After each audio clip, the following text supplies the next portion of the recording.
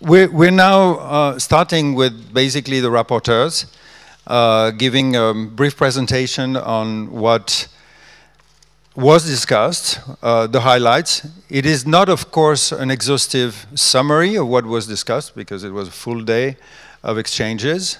Uh, part of the session afterwards will also be an opportunity for you all to contribute additional comments, not to reopen the discussions, because we could end up in two weeks, but uh, to add things that you think might be useful for, the, um, for, for people to remember.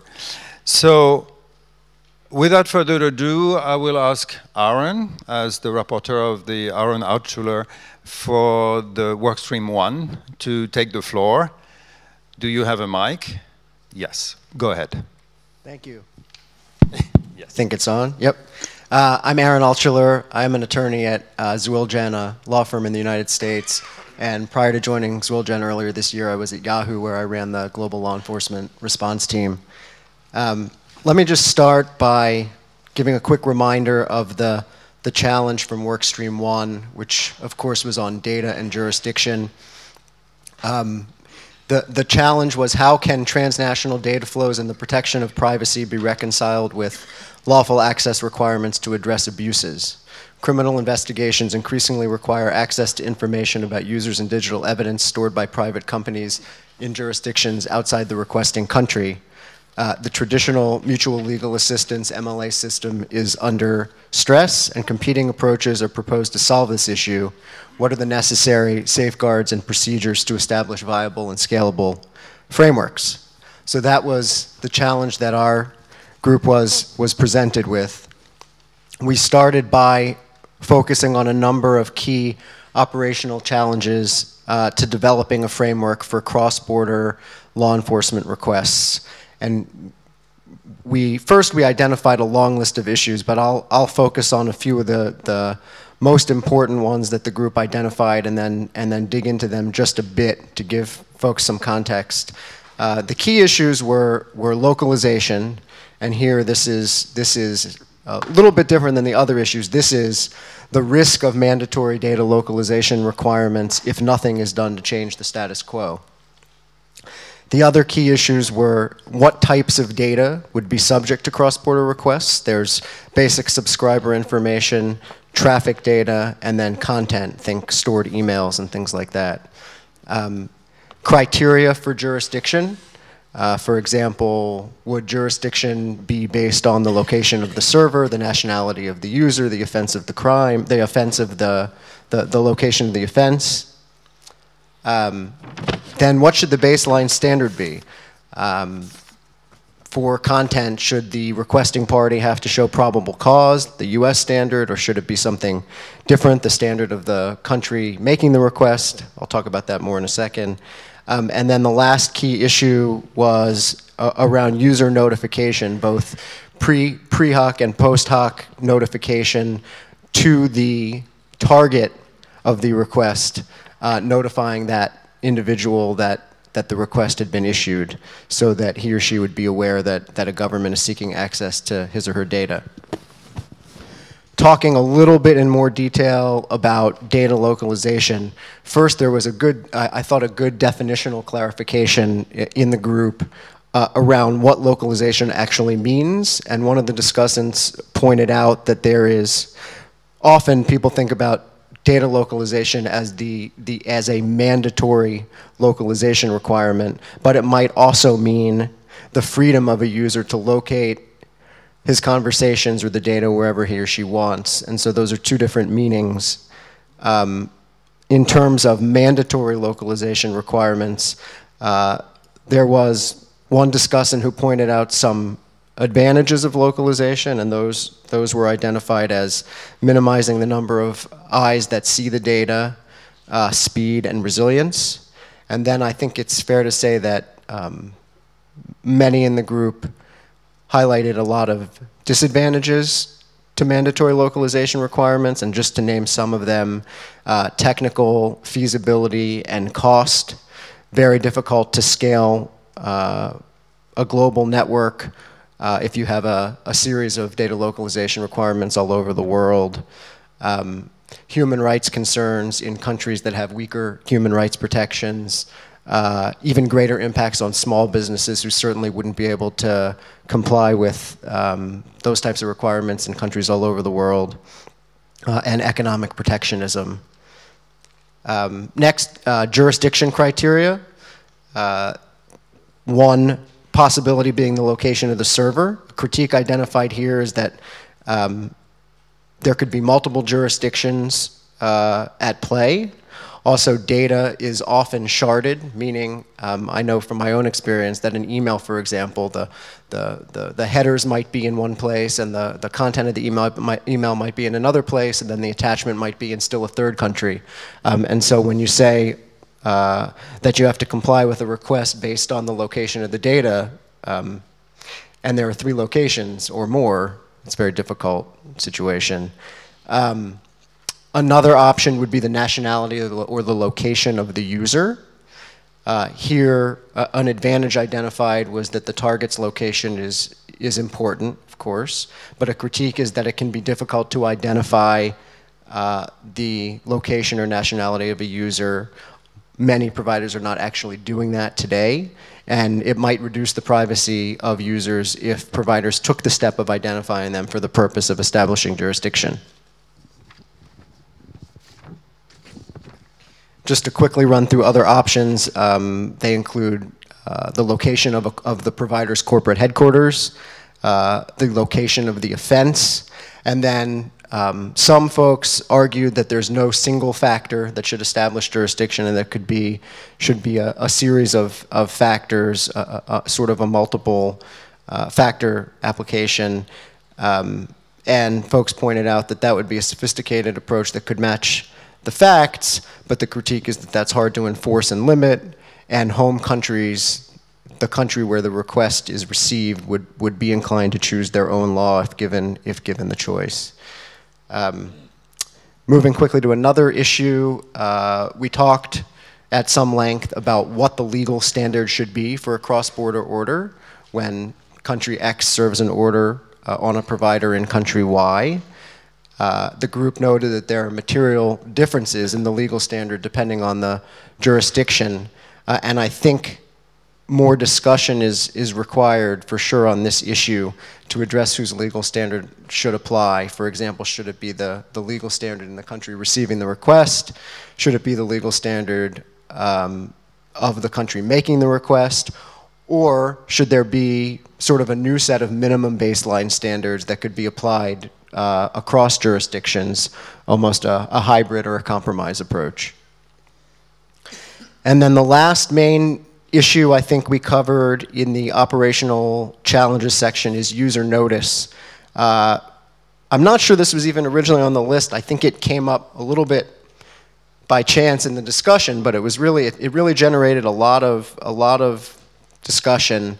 Um, and the role of the, the, issue here, just taking a step back, is is the role that user notice should play um, in a cross-border framework. It's an important issue, as many, many folks identified, because service providers are trustees for their customers' data. They look to provide trust and reassurance for their users. Uh, some folks mentioned that enterprises are, are continuing to decide whether they can trust the cloud, and being able to notify users is an important element of that. Uh, of course, user notice is also an important human rights issue uh, for the data, uh, for data that's subject to actions of a state. Uh, it's an important uh, piece of the puzzle in, in transparency so that folks can understand the system generally and then specifically if a government is requesting uh, an individual's own data. Civil society representatives in the room noted that this is an important safeguard uh, to ensure that if there's not an adversarial process when the data is accessed by the government, it at least gives an opportunity for the user to know um, that this request has been made so that he or she might have the opportunity to challenge the request if they think it's an improper one. Okay, moving on to possible cooperation areas. Um, it's interesting, the, the legal policy framework here around, around how to make a, a cross-border system happen is, is complicated and I think clearly a, a longer term discussion, um, although uh, certainly some progress has been made and the discussions were, were very valuable. Uh, in the cooperation area section of the discussion, uh, a number of folks spent a lot of time talking about um, some things that have been happening sort of between providers and law enforcement, uh, a dialogue around improvement of operational processes as opposed to um, legal policy framework. In other words, conversations that have been happening to just work within the current system to make things a little bit more manageable. Um, so for example, in, here in France, after the Charlie Hebdo attack, uh, I, I, the group mentioned that a number of providers have met with the, the French government um, to discuss things like a standardized format for requests, training on what data a particular provider uh, has available for law enforcement, um, establishing single points of contact, SPOCs for coordination of the process, sort of just things to make, make, the, make the process more efficient. The European Commission has also started this, this conversation with providers about making existing processes more efficient. Um, civil society did note that uh, there's a transparency issue uh, here if, if providers are, are having these discussions with law enforcement that it's important for there to be transparency in the process in order to ensure um, appropriate safeguards and user trust. Another area uh, of cooperation that folks seem to have a fairly broad consensus on was the valuable the, the need for, for continued information sharing. And um, in particular, it was noted the, the, role, the role that our hosts have been playing in, in already in identifying and disseminating relevant information uh, on the website. The other thing that our group did was start an email distribution list um, so that people can receive uh, important updates by email as, as well as on the website. Uh, and then another area of cooperation, a more, I think, a shorter term effort that people identified was continuing to work, and I know there's some work going on in this area already, but a, a extra push on standardizing transparency reporting, uh, both the reporting by providers around the number of requests they get, and also better reporting by governments on, on the number of requests, which in particular was was um, highlighted as an area that could use significant improvement. Um, and so uh, that was another area identified. And then, um, can I, the survey, can I talk about the three areas identified in the survey? If you want, but I will come to Oh, all right. Uh, well, just, just quickly, I, because I thought it was interesting, the, the three areas that our, that our work stream identified in the survey as, as focus areas going forward. One, the top one was uh, the Internet and Jurisdiction Policy Network continuing to be a forum for, for cooperation as it has been uh, up until now and including, of course, at this conference.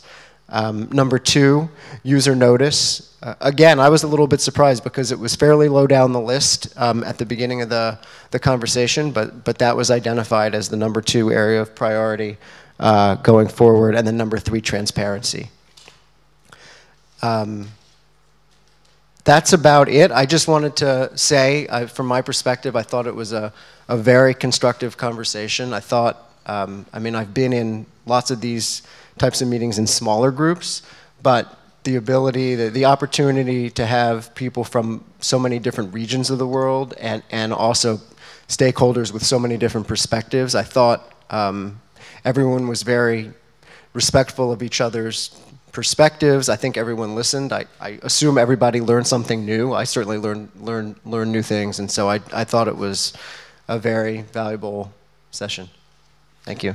Thank you, Aaron, and thanks again for the moderator and the uh, and the rapporteurs who have worked extensively during the the whole day uh, as well. Thank you very much for the reporting. Um, Wolfgang, Wolfgang Schulz was the rapporteur for the uh, workstream two on content. Yeah. Moderated thanks. by Janis Karklins. Yes.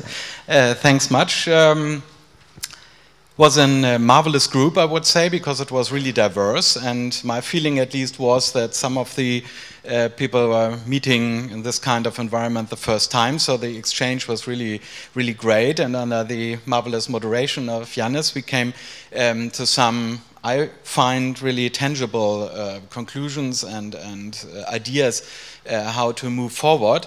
Um, maybe at the beginning, uh, just um, uh, three cases I found really interesting because uh, one of the advantages of the group was that from completely different point of views and uh, different regions in the world, uh, we got examples for content related uh, jurisdiction problems. And um, just, just three uh, I have still in mind, there are many others. and. Um, please excuse me if um, it's, it's very selective what I, what I um, tell here. The first one I would call the gaming of the Westphalian system. And uh, that was a case um, referred to uh, by a colleague from Latin America. He said that there was a case that um, uh, obviously government wanted some uh, content to be put down. Uh, and what actually happened was that not these in this country the problem was, if it was a problem, was solved, but a Spanish company uh, used uh, US copyright law to bring this um, uh, speech down that was regarded as some um, opposition speech that uh, was unwanted by the government. So that's an interesting thing uh, to, to, to, see, uh, worrying as well, but nevertheless interesting.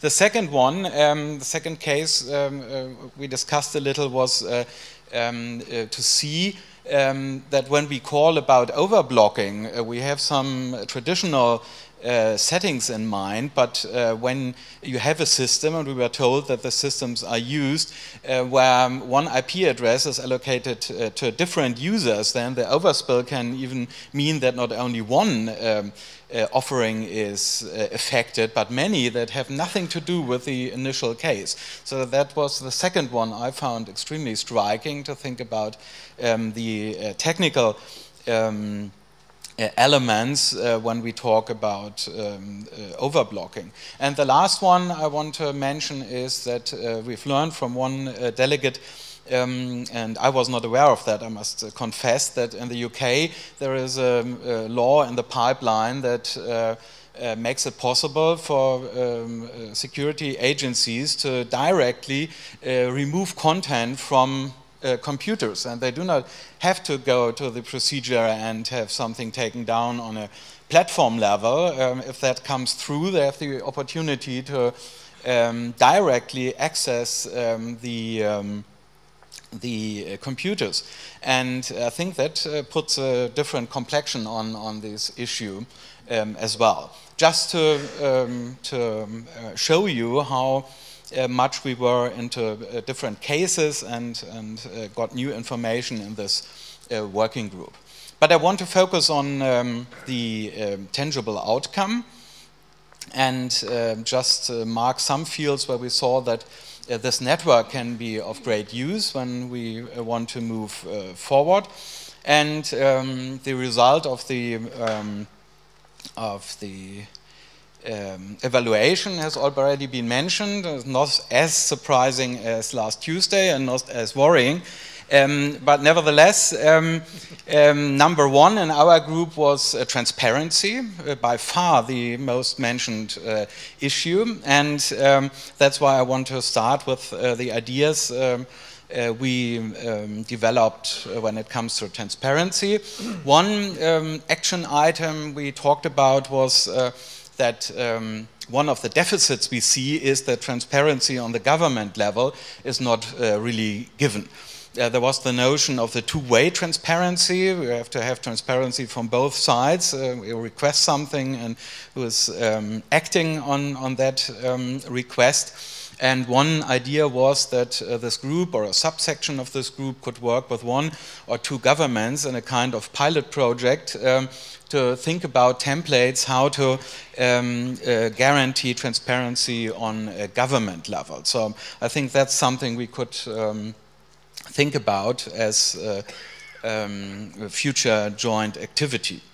Uh, another thing was that um, uh, it was mentioned that um, there is some transparency, at least when it comes to um, requests by governments now uh, from intermediary side, but there's still a lack of information about uh, private requests, and uh, that could be something um, to work on as well. And it was mentioned that sometimes companies um, say that um, they can't be as transparent as they want because of legal obstacles. And it might be worthwhile to um, elaborate on that a little and see what are those obstacles? Are they maybe just um, um, uh, easy to overcome and maybe just arguments put forward not to be as transparent as uh, required, or where there are really uh, some some obstacles, and then we can have a discussion uh, about that, whether these uh, things have to um, uh, be there. Um, or the problem can be solved in any other way. So you can see that transparency was one thing we have discussed really um, uh, intensely. Uh, the second thing that was mentioned as um, possible um, field of cooperation was uh, best practice um, uh, identification. We discussed it uh, even broader and said one idea might be to come um, um with um,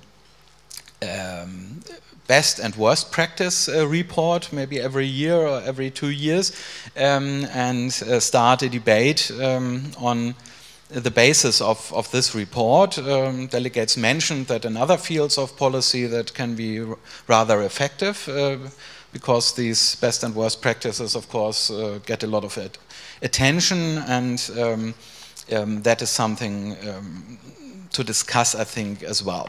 The third rank of um, possible fields of cooperation was uh, the issue of uh, a shared vernacular. Um, we discussed that a lot, and uh, I think the general feeling was um, that it is not so easy to come up with uh, uh, real shared definitions about hate speech or incitement or whatever. Uh, but that does not mean to say that uh, this group cannot make a difference uh, when it comes to that. I think it's more about talking about a common language or taxonomies um, that make it possible to, to um, uh, to work on these issues. And one thing that was mentioned at the very beginning of the discussion um, uh, and um, was um to later on is that we have to be very clear about what cases we are talking about when it comes to content related uh, issues. There are so many different things. It can be a request by government or private. It can be a private directly or by, by court and court order. It can be based on copyright, on uh, hate speech, uh, on whatever. And it might be helpful to have a taxonomy where you have later on specific cases and you can say, I'm not just now talking about the intersection of uh, this uh, kind of uh, uh, claim and this kind of uh, requester, and only that's what we are talking about, not uh, um, the um, government's action, not the right to be forgotten, but this specific case. I think a lot um, um could be um, could be a lot improve the discussion among us, but also among um, different stakeholders acting in this field. When that was, was clearer. And the same is true for different types of intermediaries. We learned that at least under uh, uh, even under American law, we have at least uh, four different types of intermediaries that the law refers to, and other countries have uh, distinctions as well. So, uh, what I heard very often in the discussion was wait a moment, we have to make clear what kind of notification are we talking about, what kind of intermediary are we talking about. And so, that's, I think, is um, something. Um, to work on and where this group and these diverse uh, viewpoints and, and knowledge bases are very valuable we were aware that it is not easy to agree on, on values, for example. It's extremely important to have this discussion. Um, but there was the notion that uh, one value we can all agree on, and that is uh, that we have to have due process. And so one idea was uh, to uh, flesh out uh, more precisely what we mean with, uh, with this notion of due process. And there were some critical remarks that even countries that um, um, are regarded as um, to be in the master class of rule of law uh, when it comes to these um, notice and takedown. Sometimes send the note, uh, please take that down and don't tell. And uh, uh, so I think it's not an easy discussion as well, but we thought it uh, worth uh, um, talking about that. Um, very briefly, um, other points that have been mentioned. Um, um, apart from that, um, we thought that it might be a kind of low-hanging fruit when it comes to uh, requestee and requester identification, both as important, uh, according to our discussion, um, um, to um, um, have a kind of um, database on, on that uh, to make sure that when there comes a request, maybe several requests from one country, that you know whom to ask, what, what is actually um, my partner who can solve this uh, problem that there is a contradiction maybe between different um, kinds of requests, uh, which can start as a kind of phone book uh, that was mentioned, but can of course uh, include um, uh, more information when it's growing. Um, that was uh, something that was mentioned as well. Um, we talked a little about redress and remediation. Um, there was the notion that um, we see improvement when it comes to that, but there's a lot to be done, and um, that there is uh, now the situation that at least with some platforms you get some results if you know somebody or have access to a pressure group that uh, can make um, uh, someone react uh, but there is no real level playing field there. And so it's worth uh, thinking about mechanisms, uh, standards, platforms that make sure that someone who is affected by um, a takedown, for example, that has uh, the possibility to, to give voice at least um, and know uh, who to, um, to address. Some um, additional points, and then I come to an end. Um, um, that have been mentioned, and again, please excuse me if it's not uh, exhaustive and some point you find important has not been mentioned. I've sent all my notes to the organizer, so no idea is lost. Um, there was um, the mentioning of um, judicial training and awareness rising, um, and there was a notion that um, it might be helpful to include the judges community and government actors, which have not been part of the conversation so far. Someone mentioned that a lot of uh, um, parts of governments are already involved, but others are affected but are not involved right now. And they can be um, maybe powerful partners uh, in this dialogue. Um, um that was one thing that was um, um, identified as well. I think uh, leave it uh, as it is, and uh, thanks again to this marvelous group. I have learned a lot and was extremely interesting experience. Thanks so much.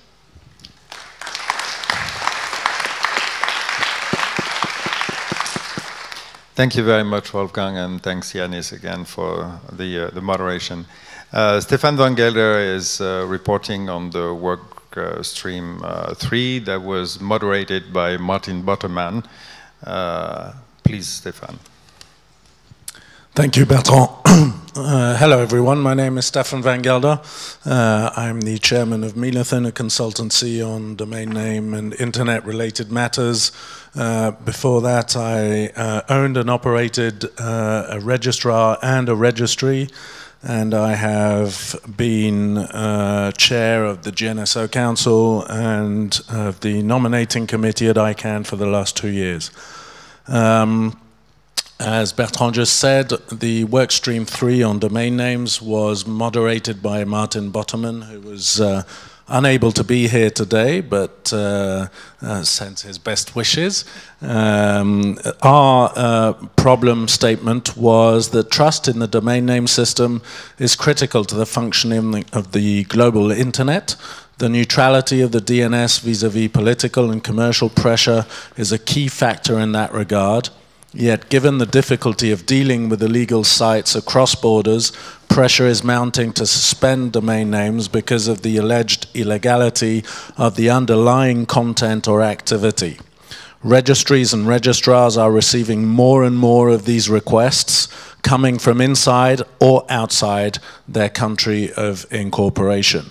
And before I start going into the detail of what we discussed, I do want to say perhaps start by the end and say that um, I think that the the takeaway from the mood of the group was that there was a renewed sense of urgency about not only discussing these matters but uh, finding a common solution to them. Uh, uh, one of the key takeaways that everyone um, got uh, from attending work, th work stream three was that these issues now it's really clearly time to do something about them. And, and we got very clear messages uh, uh, of that kind from participants in the room that uh, um, it was time for all the stakeholders to come together and try to find common solutions to uh, these problems. So we heard as um, uh, uh, operational challenges. Uh, we heard from registry and registrar operators, we heard from governments, we heard from uh, uh, people that are uh, representatives of uh, registrants, i.e. the people that register domain names. And we, we learnt about the operational difficulties of dealing with these uh, multiple requests that people get sent. So for example, uh, we learned that some registries have put have set up systems uh, to use trusted notifier networks, uh, which uh, they feel they can then uh, talk to or can talk to them to ask for domain name suspensions or uh, remedial action for abuse that is considered to be carried out through domain names. we learned that the motivation for doing this often for, for registries and possibly for registrars as well, is not only that it's the right thing to do, but also that uh, it, it, it, enhances the company's reputation. Uh, the people dealing with this, registries and registrars, obviously want to make sure that their networks, uh, be it TLD or their own client networks, are uh, seen to be a safe place, a place where abuse is not allowed to run amok. Um, and uh, a lot of the conversation, I'll go into uh, more operational details in a minute, but a lot of conversation uh, turned, uh, was, uh, was, around things that I've heard in other work streams, and specifically work stream two, around both vernacular and due process, i.e. being able to understand when you get uh, someone sends you an abuse uh, notification on a domain name, being able to understand uh, at the party sending the abuse should understand what they're asking for, and we were often told that that was not the case. Uh, so people might ask for a domain name suspension, not understanding exactly what that means. Uh, and also that um, if there is a request for domain name suspension or withdrawal or deletion or whatever, uh, that there be due process, i.e. the registrant or the, the parties affected by the request be allowed to um, speak uh, on behalf of themselves and, and make the case for themselves that maybe this is not abuse or, or it's not what it's uh, portrayed to be. Uh, we heard from registry operators that um, um, most of them tend to react to court orders first, uh, and in many cases only. The reason for that being that uh, registries and registrars do not want to be seen as being judge, jury, and executioner in these cases. And they were very, very clear on this point that uh, um, there are only very few specific cases of abuse that they feel comfortable with taking action on directly. One such, two such cases were mentioned. One was obvious phishing attacks. The other was uh, child abuse.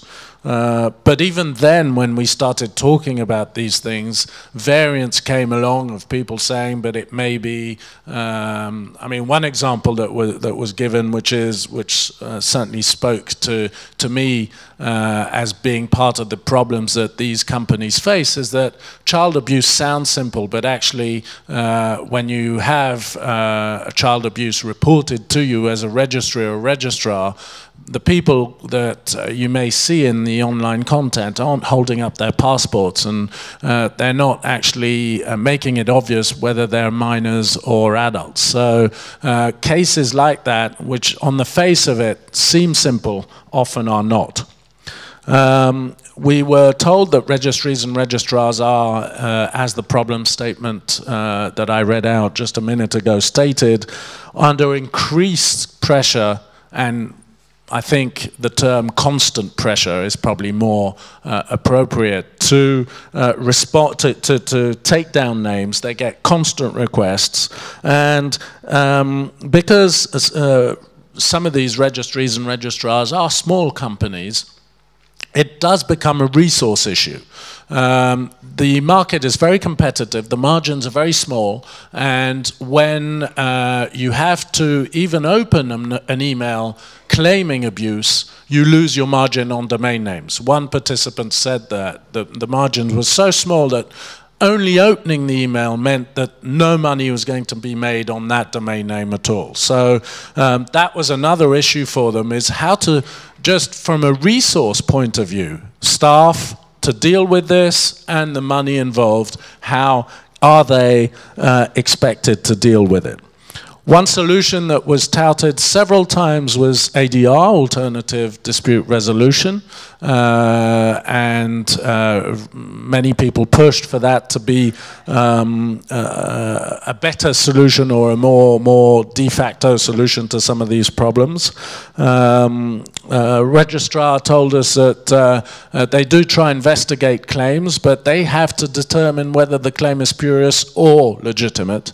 And that obviously is up to uh, the registrar and the cultural and, and financial and, and, and, geographic circumstances that they're in. For example, we were told that some of these complaints come in languages or scripts even that the registrars can't read.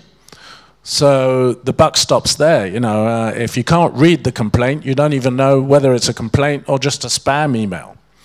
Um, we were asked, or some asked, why is it that um, we uh, should work so hard on domain name suspension in any uh, event? The reason behind the question, the example that, that, I found very interesting that was given to us was if you know that there's crime going on in a house, uh, in a street, you don't try and tackle the crime by changing the number of the house and uh, we were that the phrase domain uh, name hopping or jurisdiction hopping was mentioned as the fact that these crooks that are uh, doing illegal activities through domain names will register many of them and will have no problem jumping from one jurisdiction to the next and going from the GTLDI, the generic .com type space, to the CCTLDI, the .fr type space. And the rules there are very different. So then we got into a discussion about who oversees what. ICANN was mentioned, the IGF, uh, the Internet Governance Forum was mentioned, uh, Internet and jurisdiction was mentioned as a possible uh, forum for discussion, uh, but in none of these areas it was recognized that everyone, all the parties were at the table. Uh, it was also recognized that there is urgency in keeping the momentum of the discussion going and making sure that um, uh, one suggestion was that uh, INJ could uh, table a discussion uh, in the next few weeks uh, to make sure that the momentum on these issues uh, and, uh, and of the discussion on these issues continues. Um, we heard a very, very clear message, as I said earlier on, that action needs to be taken now if it's going to be multi-stakeholder action, i.e. industry self-regulation, then it needs to be done now because otherwise we, end up, we may end up with legal frameworks that we don't like imposed on us, us being the community in that room, obviously.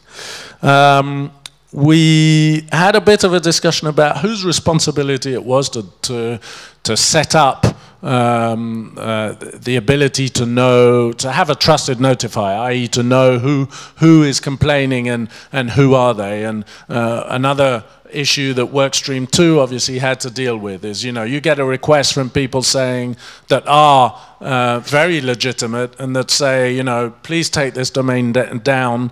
Uh, pharmaceutical, uh, the pharmaceutical industry was mentioned in this slide uh, because there's an urgent need for uh, it being taken down because it's selling illegal medicine.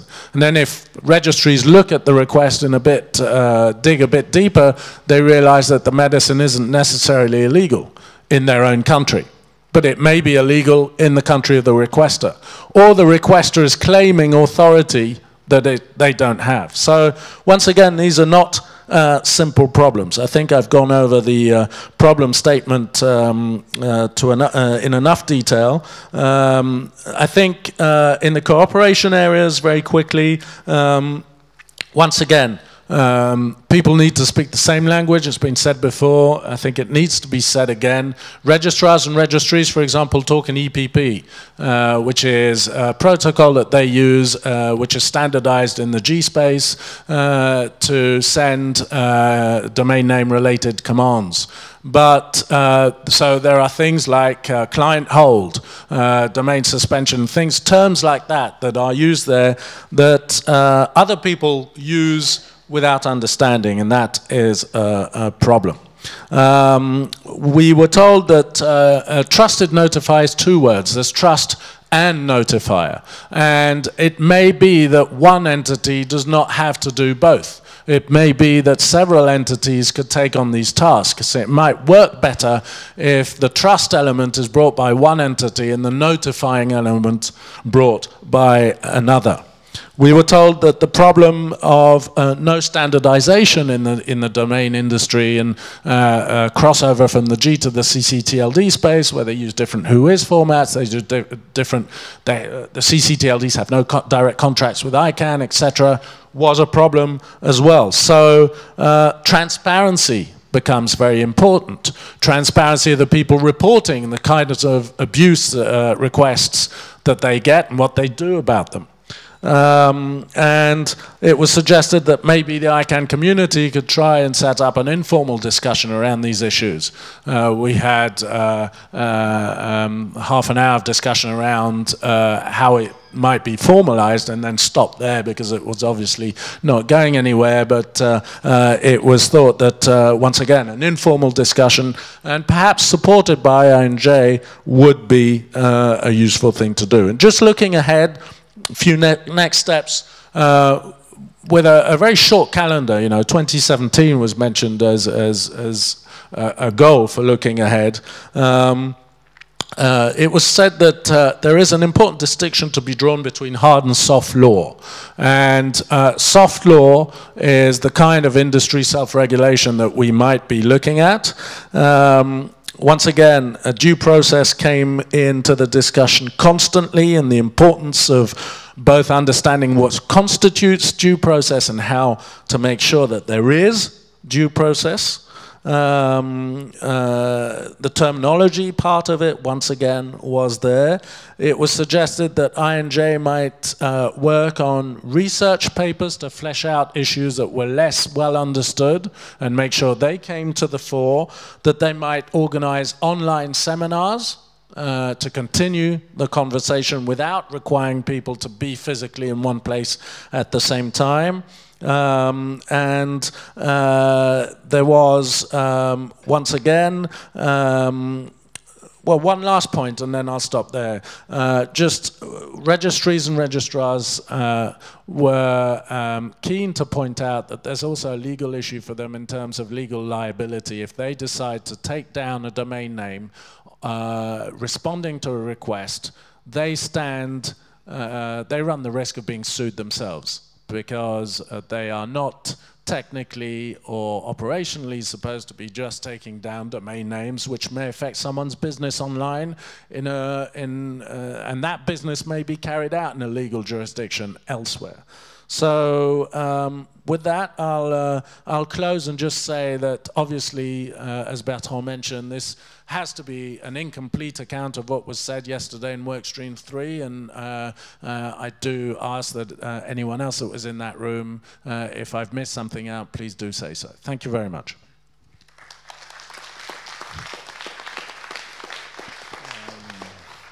Thank you very much, Stéphane, and uh, thank you in his absence to Maarten for the uh, for the moderation.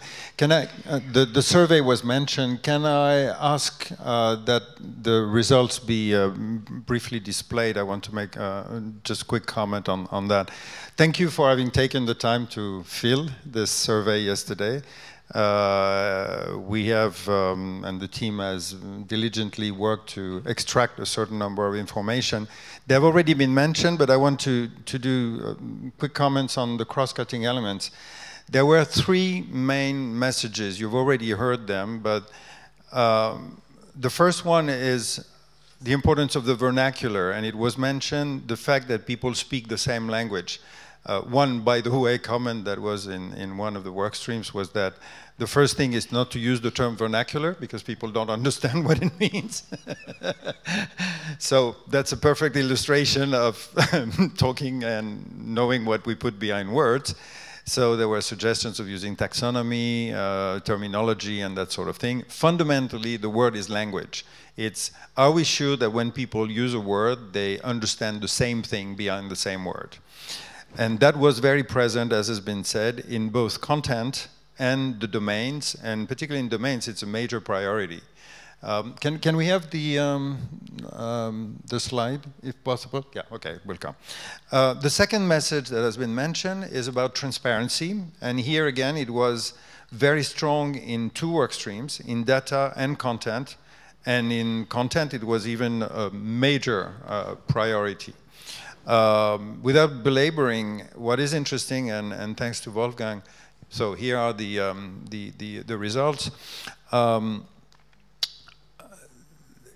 transparency has many different aspects, and it's great that you decompose uh, those those aspects. Just like in vernacular, for instance, in the domains, I, I, understood that there were discussions about a certain number of terms that had to be uh, discussed: the the type of action, the type of abuse, the the, the type of uh, requester, and so on.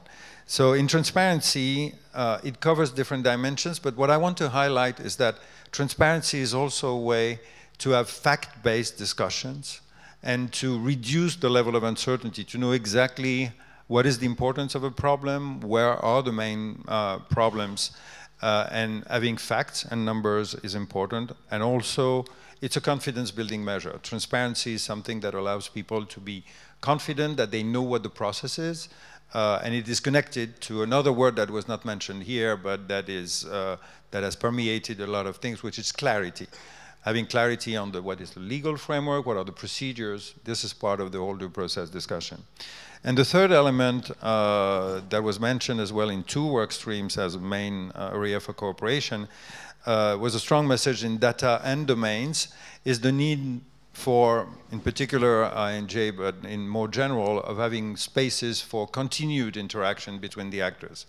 And it's clearly an illustration of the status of both of those work streams where there are several actors that need to coordinate and bring what we've labeled policy coherence and reduce the uncertainty about what the others are doing and facilitate um, at least consultation, if not coordination. Finally, beyond those messages that were across work streams, there were for each of the work streams very interesting specific topics. Uh, user notification in data, I'm very happy that it, it came up because actually it's, uh, it's first good that it emerged spontaneously and it is something that is extremely important. Uh, the notion of best compilation of best practices or good practices uh, in the content space because all the platforms and all the major actors and major states have developed interactions and procedures among themselves. And it's great to be able to share also for smaller actors, smaller platforms, smaller intermediaries, and smaller countries, uh, elements of procedure. Uh, and the, the second, the, the, last one is uh, for domains, which has a specifically high role of notifiers uh, the notion of best practices for notifiers. And there has been uh, discussions on, on this, and I think it's very, very useful. So with this, I, I close this, uh, this first element. It provides a, a remarkable uh, help for us in terms of the roadmap, and I'll come back to that later, for the work in, in 2017 and beyond. Uh, it's important in the discussions that we'll have afterwards in debriefing with the rapporteurs and moderators to have a good understanding of who is already doing what. Uh, part of our job, I think, is also to, um, no pun intended, to convene the conveners. There are actors who are gathering other actors and trying to make them work. And there's a part of the job is to bring them also together to allow them to coordinate. Uh, and that's the kind of facilitation role we can we can do. Thank you very much again for the work uh, that you've done uh, yesterday. And with that, um, it's the moment to move to the next session.